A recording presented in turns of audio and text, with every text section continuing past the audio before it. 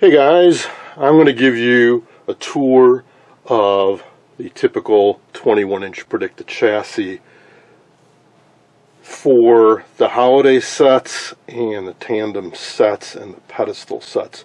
The Continental uses the same chassis as the 17 inch tabletop sets.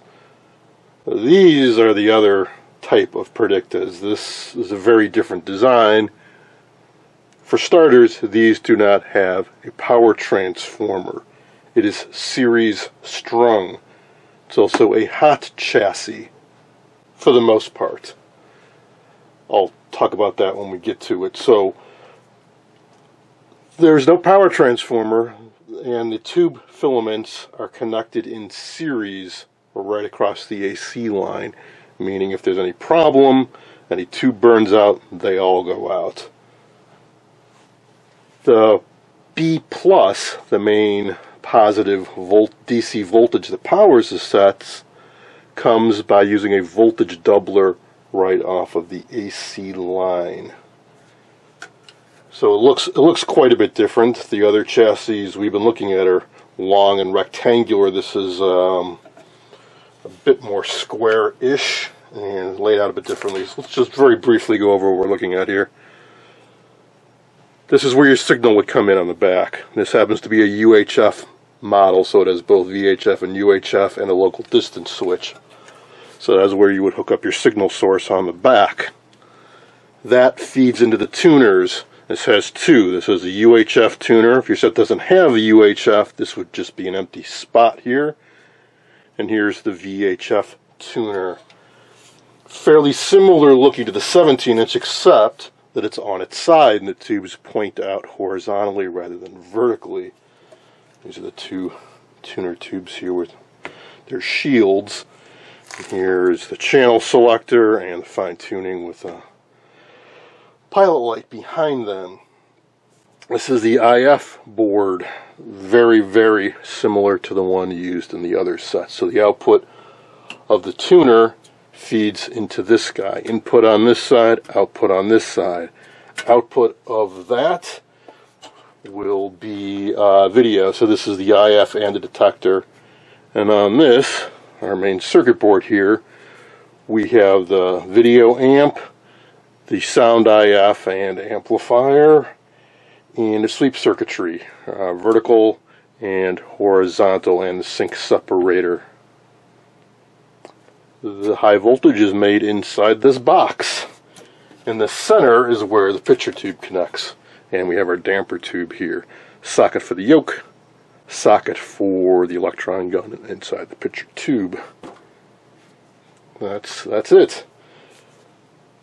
Let's look underneath that. So that's where the, this very much uh, departs from the 17 inch sets. The 17 inch sets, very similar tuner, virtually identical IF also has a main board, but that constitutes basically everything. These sets have a bunch of stuff underneath. There are actual terminal strips and point-to-point -point wiring under here. A lot of it has to do with the power supply and the fact that this is a series strung set. So he has some unique things to this uh, the, this type of chassis. This is the 9L37. There's also a very, very similar 9L38 for the tandem. Main difference being it has a socket on the back to connect the long cable that goes to the picture tube head. The layout can be difficult to follow underneath here because the stuff is spread out all over. Your AC comes in here. Now I mentioned it was mostly a hot chassis. And that's these plastic insulators scattered around. There's one here, one here, bunch up on this side. These pieces of metal are floating. They are isolated. These are the parts that connect to the cabinet. And mounting screws and posts up front into these insulated pieces. The idea being that the stuff that you may come in contact with, like at the back of the set here, is isolated. This, the main central metal hunk, absolutely goes right to one side of the AC line. Could be hot, could be neutral. It's an unpolarized plug. So I mentioned things are scattered all over. So our power comes in here. The power switch is way over here, push on, push off. Then we have a big old thermistor that's in series with the tube filaments. So this is in the path that snakes all over the place. Real simple basic chuck you can do on these sets is put an ohm meter right on the AC terminals and turn the power switch on and off and see if you get continuity. Off on the power switches are bad, or the thermistor just they just flat out disintegrate and the disc falls out. This guy could be bad. Is a filament dropper. If you add up all the tube filaments together, you don't quite get 117 volts AC. You get less than that. This makes up the difference. It gets very toasty. So we have to have continuity through all the tube filaments, the power switch, the thermistor, and this guy to actually get a resistance reading. If, uh, so that's a good sign that everything is good if you do get a low resistance reading. Some of these other parts.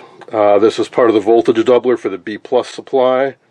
The other big electrolytics are in here and there's one more three section smaller electrolytic right on the other side where I'm pointing. So I think we have four caps in here, one cap in here, and three more in here in terms of electrolytics. We have a number of paper film, ceramic tube, plastic tube, another plastic bumblebee looking, wax coated. They're all paper caps. Replace all of them. There are some ceramic disc capacitors. Some of them are high voltage caps. Leave them alone. They should be fine. That looks like a resistor. Nope, another bumblebee cap. Gotta go. This cap this could be in different positions depending on the production run, but it's generally the largest. It's a 0.1 microfarad. That goes right across the AC line. Replace that cap with a appropriate safety cap for across the line operation.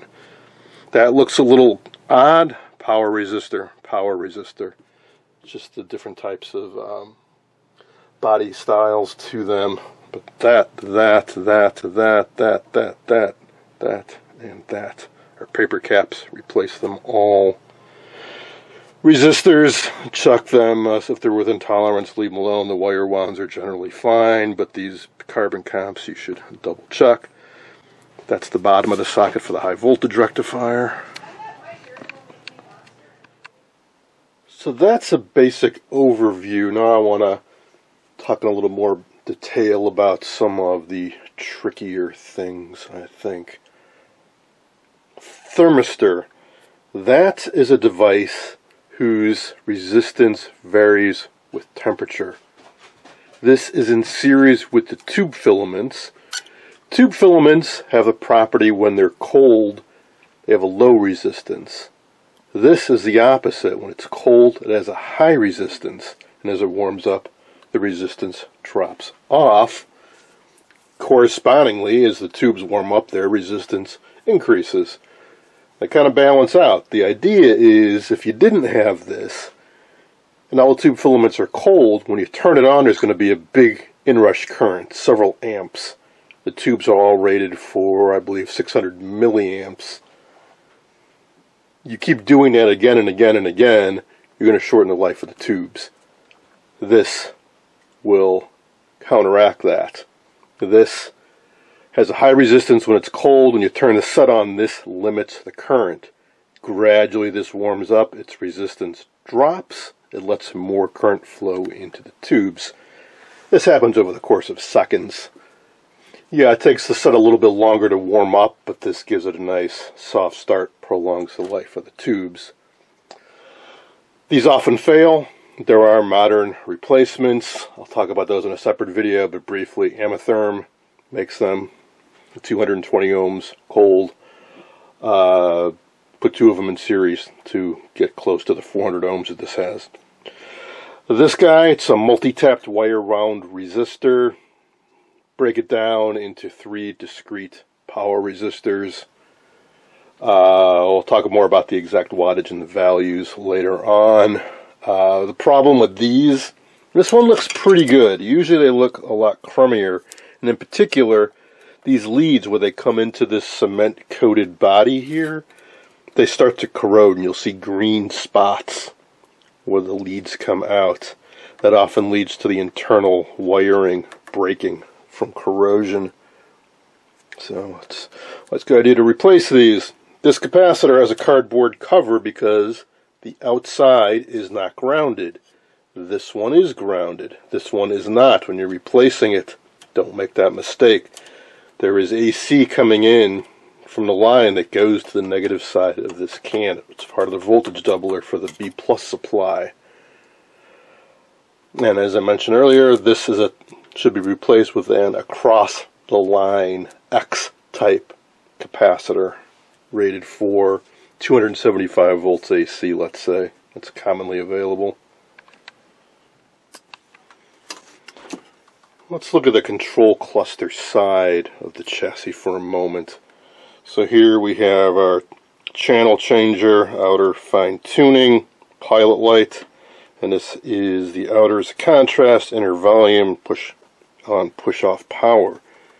And there are three on the side. Will be your horizontal hold, vertical hold, and brightness. But notice these are hollow. There is a second control down the center of each of these shafts you will need a small flat bladed screwdriver to get down into there. Even this is too big, you're going to need a small one like the type you use for eyeglasses. What are these guys? Jeweler screwdrivers.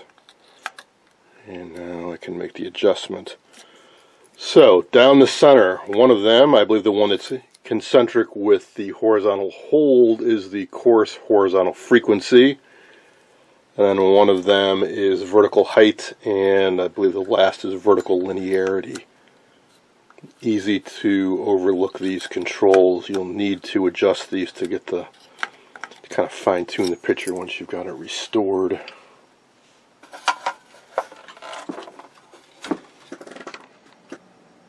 Now let's take a look at this odd assembly. It's near the high voltage box and the antenna terminals. It's some folded over black metal with several wires going to it and some ceramic disc capacitors on top.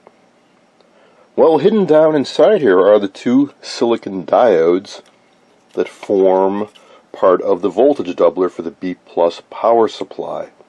So this is what turns the AC into DC to power the set. These silicon diodes may still be okay. I suggest you replace them. I use 1N5408s.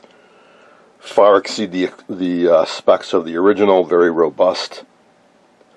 So why are there all these ceramic disc capacitors on top?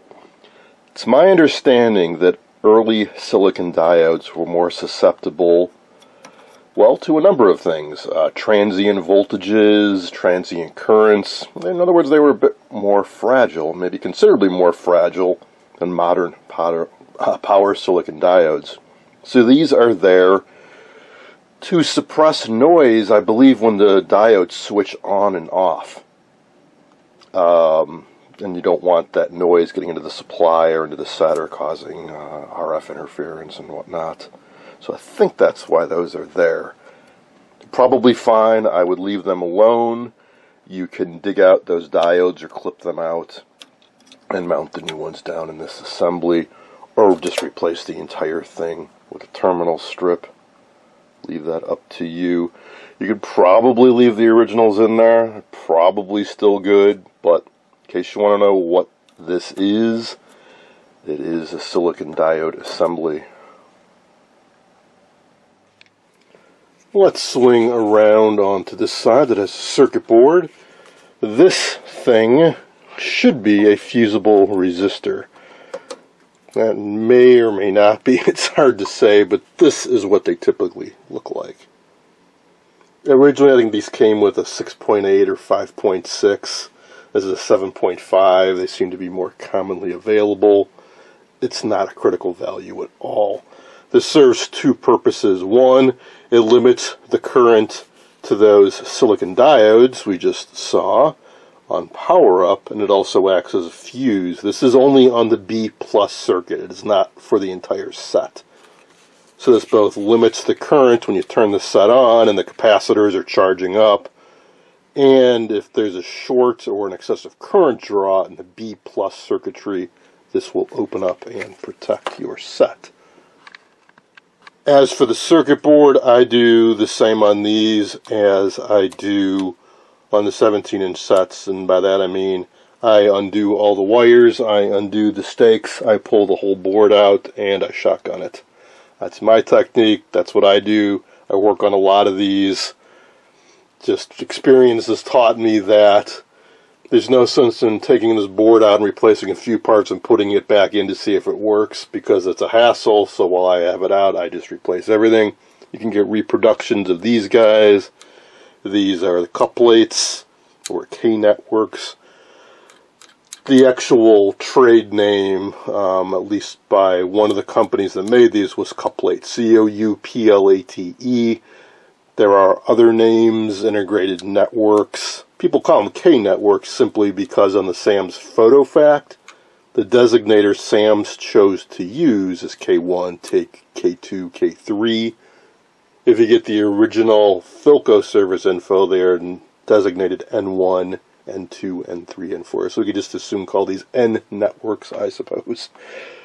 All they are, it's a combination of resistors and capacitors in one package to reduce space and um, decrease assembly time. Luckily, these days reproductions are available from the TV restorer guy, but it's not that hard to make them from scratch if you choose to. But I'd say if you if you can afford to, they're not that expensive. Just buy the reproductions and be done with it. And just like before, these guys, these plastic things with stripes on them, they are paper caps inside. These should be replaced. Some are vertical, most are horizontal. It is possible to leave the board installed, clip these parts out, tack in new parts. In fact, there's one here where I believe they cut one of the leads going underneath the board. Yeah, this this end. The original part is underneath the new part. In other words, this is a new part. This is the old part.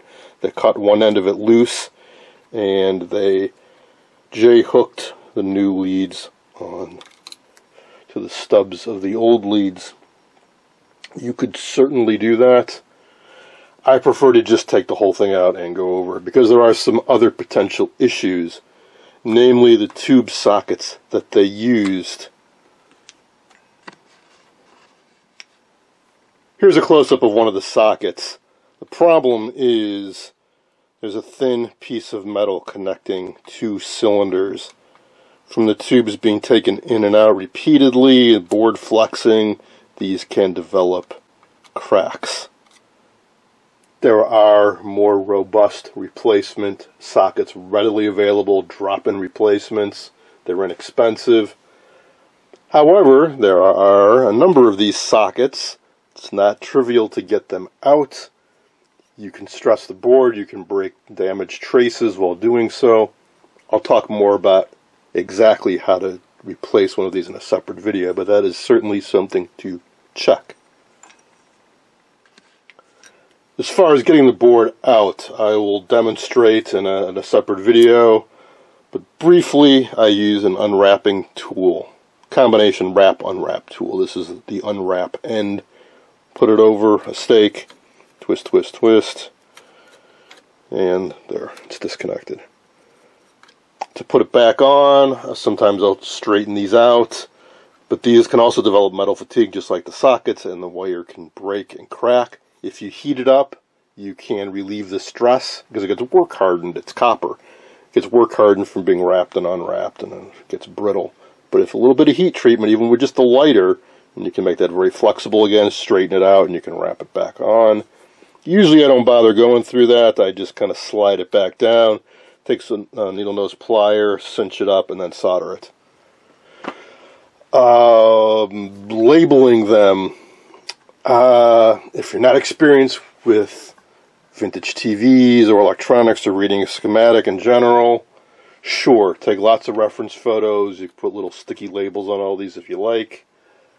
I've worked on enough of these and I have the good factory service info and the SAMs and all that, and they do label these pretty distinctly. Every wire is a different color. I find it easier just to disconnect everything, look at some reference photos or another chassis or the service info, and just hook the wires back up the way they were originally.